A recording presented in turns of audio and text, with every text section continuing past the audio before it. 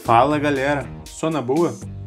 Neste vídeo, o nosso amigo Guza vai contar um pouquinho sobre a experiência dele com a Neckbeard 2, fabricada pela Almeric. A Neckbeard ela tem a característica da rabeta ser uma rabeta um pouco diferente do convencional, uma rabeta bem larga, uma rabeta reta e justamente por isso ela tem esse formato um pouco mais bolacha e ela desenvolve muita velocidade e essa rabeta ajuda na estabilidade da prancha e ao mesmo tempo ela fica uma prancha muito solta.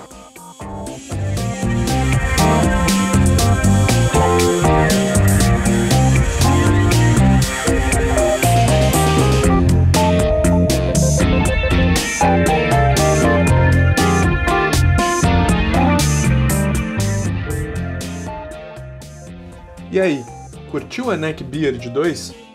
Na descrição do vídeo tem um link com todas as informações que você procura sobre esse modelo. Valeu galera e boas ondas!